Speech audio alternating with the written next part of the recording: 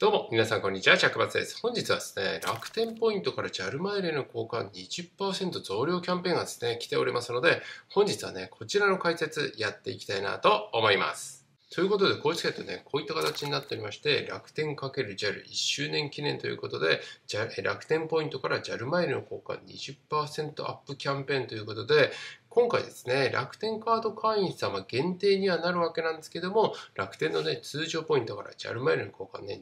20%ね、増量っていう風になりますんで、楽天経済圏でね、利用されている方、楽天ポイントね、ある程度あるかななんていう風に思いますので、気になる方、ぜひね、最後までご覧いただければなと思います。それではね、キャンペーンの詳細いきたいと思います。期間はですね、2023年の5月1日から2023年5月31日、エントリー必須っていった形になります。で、今回のキャンペーンの特典が、楽天の通常ポイントから JAL マイルに交換していただくと、20ポイント増量っていった形になります。通常ですね、楽天通常ポイントから100ポイントを交換した場合ね、50 JAL マイルに交換することができるんですけれども、今回20%増量ということで、プラス10マイルということで、合計60マイルにね、交換することができます。で、今回のキャンペーンの対象者が期間中にエントリーかつ楽天通常ポイントから JAL マイルに交換された方ということで、今回のキャンペーン自体がですね、楽天カード会員様限定っていう風になっておりますんで、まあ、おそらくね、一応公式サイト概要欄に載せておきますけども、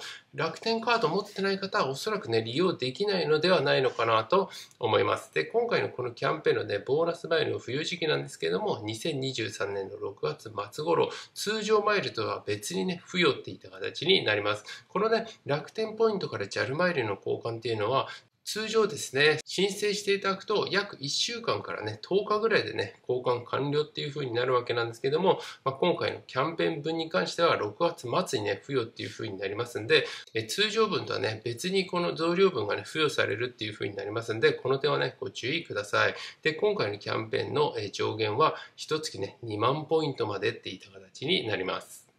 で、今回のキャンペーンですね、エントリーがね、必須になっておりますんで、この点はね、注意していただければなと思います。こちらね、エントリーしないで交換すると対象外っていう風になりますんで、ただね、交換しただけっていう風になりますんでね、この点は注意してください。今までですね、この楽天ポイントから JAL マイルの交換っていうのは、キャンペーンでね、増量みたいなのは今までね、なかったわけなんですけども、今回ね、1周、1周年記念ということで、キャンペーンがね、開催されました。これね、定期的にやっていただけるとね、非常にいいですよね。ANA とかはですね、昨年12月にですね、楽天ポイントから ANA マイルの交換ね、増量キャンペーンね、同様な感じであったんですけども、まあ、JAL はね、今までなかったっていう風になりますんで、まあ、他のね、ポンタポイントとか永久不滅ポイントとかね、まあ、こういったポイントは JAL マイルの交換でね、増量キャンペーン結構年に何回もね、やってたりするわけなんですけども、まあ、今回楽天ね、ポイント初めてっていう風になりますんで、これはね、ぜひ定期的にね、やってていただきたいですよね。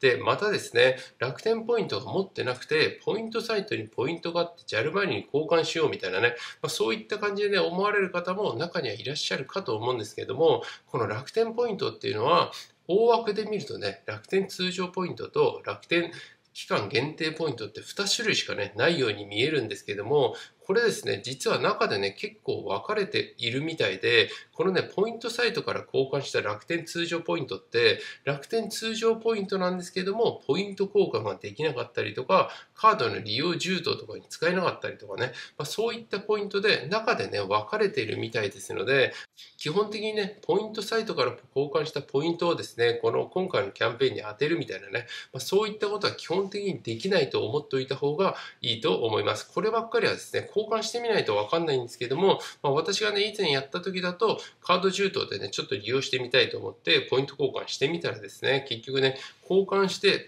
楽天通常ポイントにはなるんですけども、充当できないみたいな。まあ、こういった感じのね、ポイントになりますので、まあ、おそらくね、交換ももちろんね、その時できなかったので、まあ、交換もね、できないと思いますので、この点はね、注意していただければなと思います。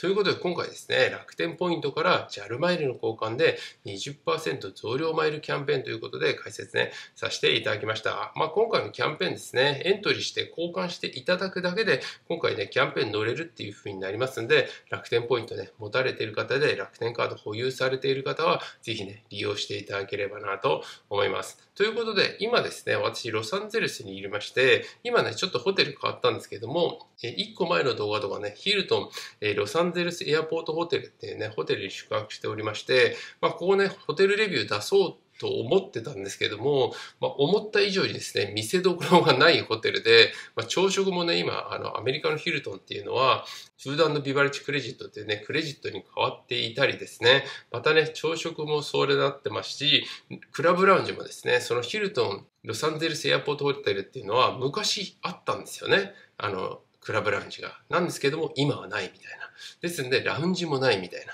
ですんでね、紹介できるところはね、本当に客室ぐらいしかね、ありませんでしたので、まあ気になる方はですね、この後にね、ちょっと入れようかななんていうふうに思っておりますので、まあ、気になる方はですね、ぜひね、チェックしていただければなと思います。まあホテル自体はですね、非常にあの空港からね、シャトルバスも出ておりますので、結構便利に利用させていただきました。ですので、え気になる方、このままね、引き続き見ていただければなと思います。ということで、そのままね、動画終わりたいと思いますので、ここでね、私は失礼したいと思います。それではまた次の動画でお会いいたしましょう。バイバイどうも皆さんこんにちは。チャックバスです。ちょっとねあの外見が見せられないんですがここね屋根になってましてここヒルトンロサンゼルスエアポートということで本日はですねこちらに1泊ね、えー、させていただきたいなと思います。先ほどねロサンゼルスの空港に着きましてホテルのシャトルバスに乗ってこのねホテルに来ました。30分間隔でね24時間動いているということでロサンゼルス空港のですねこちらちょっと映像を出しておきますけどもそっちの看板を目印にして、えー、行っていただければシャトルバスバスのね来る場所に、えー、行けてそこから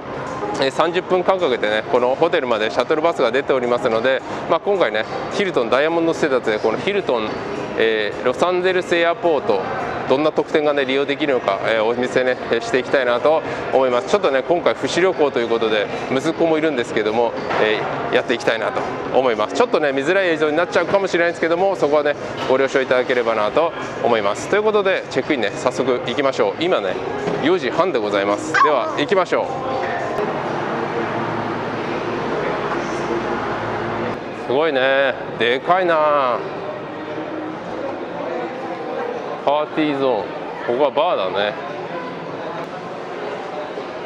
チェックインプライオリティチェックインこっちか。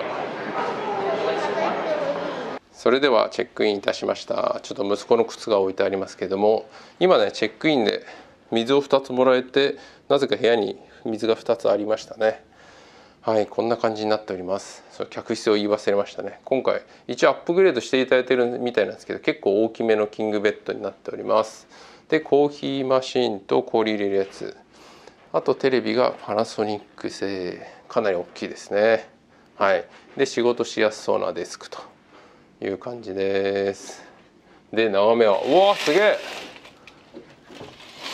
これはいいですね。あれは何航空の飛行機だろう。飛行機がめちゃくちゃ見えますね。これはテンション上がりますね。いやいいですね。今回17階ということでホテル自体はですねそんなに新しくないみたいなんですけどもまあ客室内もまあちょっと古めですけどもねまあエアポートホテルとしてはもう十分じゃないでしょうか。はいでベッドがこんな感じです。ベッドかなり大きいですね。こちらに電話とテレビのリモコンがあってあとこちらにエアコンですね。でこれがクローゼットかな。あそうですね。あ一応バスローブがありますね。であとはバスルームですはいこんな感じになってます。まあアメニティはほとんどないですね。石鹸とボディローション固定ぐらいしかないですね。はい。っていう感じです。あとタオルとドライヤー。あと手洗いとあとバスタブです。バスタブはリクエストさせていただきました。いやいいですね。ちょっと浅い系ですけども。まあ今日1泊しかしないんで十分ではないでしょうか。はいこんな感じになっております。よいしょ。ということで今回ですね、ヒルトンロサンゼルスエアポートホテルですね。こちら今回ね、5万ポイントとか結構ね、安いえポイント数で宿泊することができました。まあ、ホテル自体はですね、めちゃめちゃラグジュアリーとか豪華とかね、まあそういったわけではないんですけども、まあロスの空港からですね、無料シャトルとかもね、24時間30分ごとにね、出ているね、結構便利なホテルで、え、今回5万ポイントということで、結構ね、少ないポイントで、え、宿泊させていただきました。ちょっとね、あの、息子が寝てからね、撮影しておりますんで、ちょっと夜になっちゃってるんですけども、今回ね、こちらで、え、利用できるダイヤモンド特典っていうのは、このホテルにはですね、以前ね、エグゼクティブクラブラウンジがあったんですよね。ですので、あの、ブログとかね、検索していただくと、あの、ラウンジの画像ね、出てくるんですけども、ラウンジがあった場所に行ってみたんですけども、えバーにね、変わっておりました。はい。ですんで、このホテルにはラウンジはございません。で、朝食特典も、まあ、こちらアメリカのヒルトン系のブランドということで、フードビバレッジクレジット18ドルに切り替わっております。今回私と息子2人で滞在してますんで、2人で36ドルですね。その代わり、まあ、朝食のサービスはないっていった形になります。まあ、空港ホテルなんでね、朝早く出てしまうみたいなね、まあ、そういった方はですね、結構いい感じに使えるかもしれないんですけども、まあ、普通にね、ここに滞在する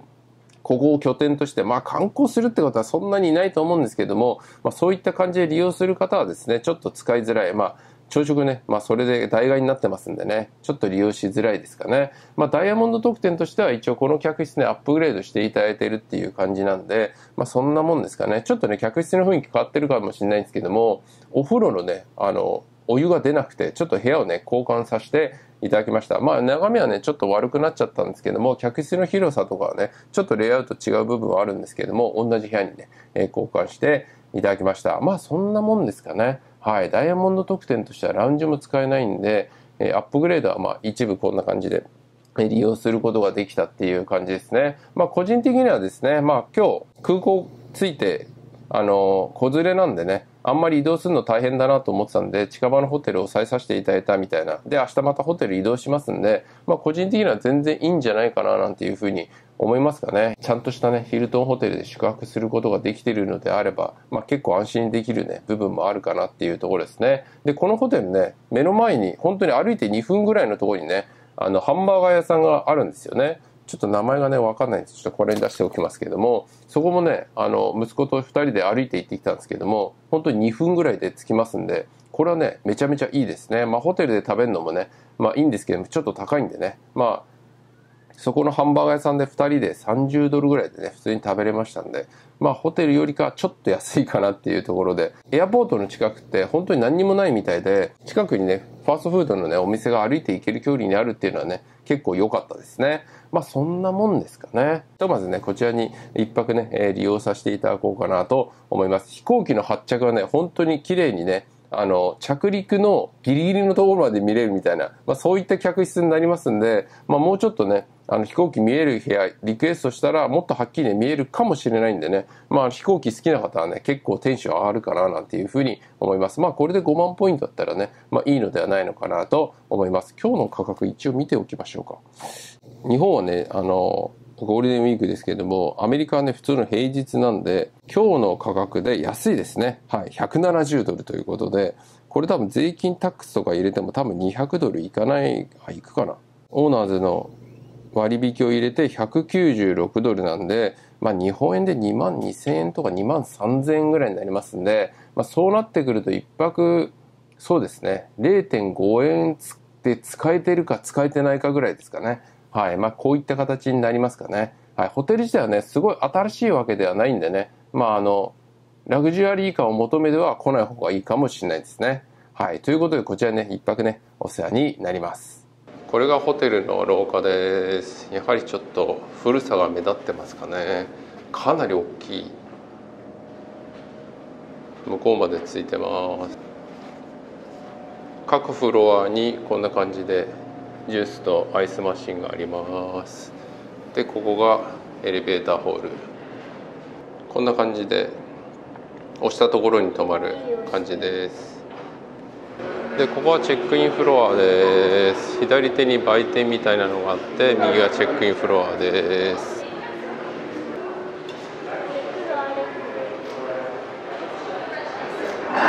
かなり大きいですよね。で右がレストランとか反対側にもレストランがあります。でここは待合フロアみたいな。で2階とかにはなんかいろいろお店みたいなのも入ってますね。これがシャトルです。これに乗って空港まで行くことができます。寒いな。ホテルの周りはこんな感じです。静かにして。こんな感じになってます。では戻りましょう。まあ、ホテルの全体はこんな感じになってます。非常に大きくてね安心感はやっぱりすごいですね。